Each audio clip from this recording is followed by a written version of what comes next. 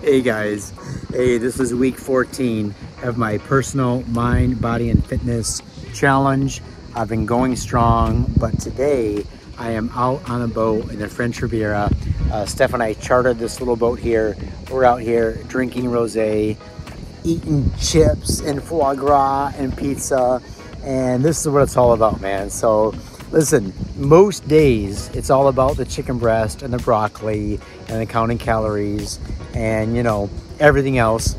Today it's about living the dream, and I just want to put that out there because as much as I push most days, you know, hitting the gym and tracking my steps and you know every single calorie is counted. You know, that's no way to live life long term.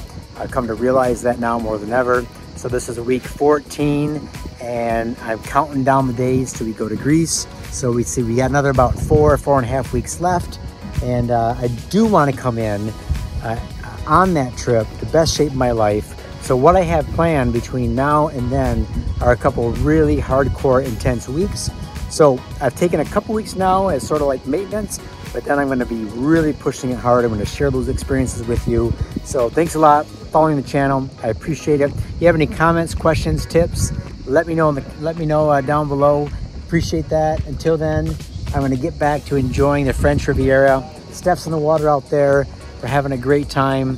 And uh, oh man, you know, this is what it's all about. Taking care of yourself, you know, 95% of the time so that the other 5% you can just go out, let loose, have a great time.